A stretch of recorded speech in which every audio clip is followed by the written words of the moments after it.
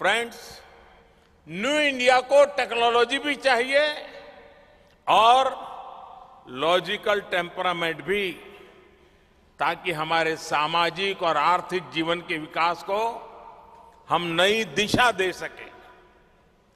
मेरा ये हमेशा से मत रहा है कि भारत के समाज को जोड़ने का काम अवसरों की समानता लाने में साइंस और टेक्नोलॉजी की बड़ी भूमिका है।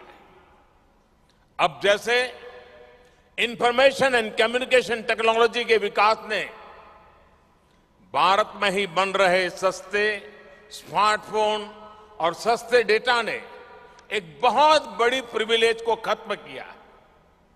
इससे आज सामान्य से सामान्य नागरिक को भी विश्वास हुआ है कि वो अलग नहीं। वो भी सीधा सरकार से कनेक्टेड है, उसकी आवाज़ सीधे सरकार तक पहुँच रही है।